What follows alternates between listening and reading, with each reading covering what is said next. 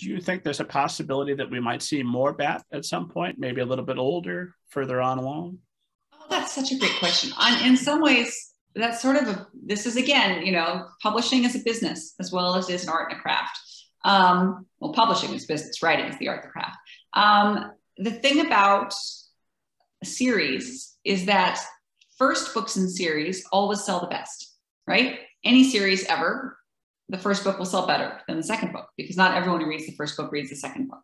And so, series, as my editor has said, is a game of diminishing returns uh, because each book will sell fewer copies than its predecessor. And the first book will always sell the best. So, from a business perspective, how could I entice my publisher to want to publish more Bat books? Is an interesting question. But from a from a character perspective and an art perspective, what would I, I'm at the moment, I don't, I would have to see another three book arc for Bat because my brain is very, um, it sort of attaches itself to structures. And Bat to me is a three book arc. And so I would not want to write a fourth Bat book because it would not, it would not fit within the arc. It would be, I have the arc and then I have this thing. So I would, I would, I would need to make another arc. So I would need another three books, I think. And right now, I don't have another, like, I'm very happy the way I have left Bat and Thor and, you know, in the kitchen um, where they started. If you read the beginning of book one, they're in the kitchen, uh, but it's just Bat and Janie, and there is disharmony. And if you look at the end of the third Bat book, uh, there's Bat surrounded by this circle, um, this growing circle of support um, in a place of harmony. So I feel very satisfied with the work I've done on that series and love Bat very much. So I would love to write more Bat books, but I would only do it if I felt I was compelled by another story that I had to follow.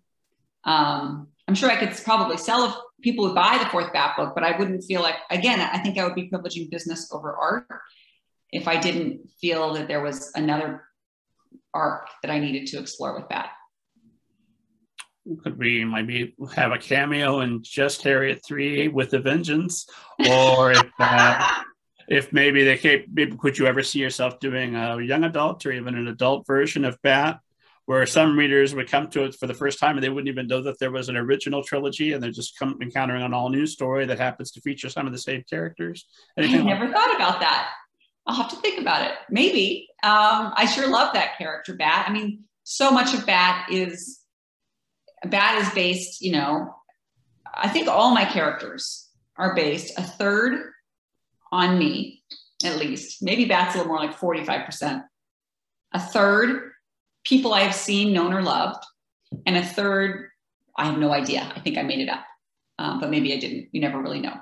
So, uh, you know, that third, a third, a third. Um, and that's certainly true of Harriet as well it's just different thirds that come in and that's how i make different characters i guess is that a different third of me goes in versus the different people that i've met or loved versus different things i think i've made up.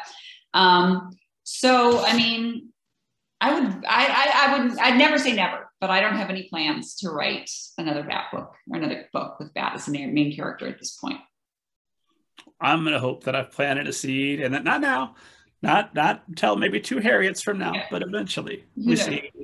But I am curious, could you see Bat in a non-middle grade uh, context, or is he always going to be in the third, fourth grade, somewhere in that range? That's a great question. I don't know. I don't usually. To me, the book exists as what it is. I don't spend a lot of time imagining my characters forward in time. Um, one exception to that is Damsel. I I don't think about Ama, main character. I'm very clear about what happens to her and where she goes, but I'm very curious about, and I'm sure this must speak to my siblings. Remember how I talked about leaving my siblings behind? I'm very curious about the um, the castle and the the characters that are left behind after Ama disappears and, and frees herself. So that that is interesting. That one I do spend some time sort of. I wonder what's going on with those characters now. In a way that usually when I'm finished with a book, to me, the book is the thing. And now I'm interested in this other thing. So sounds to me like we're getting that book eventually. Maybe. I'm, I am curious about, about what happened back at the, at the castle. Um, I have ideas.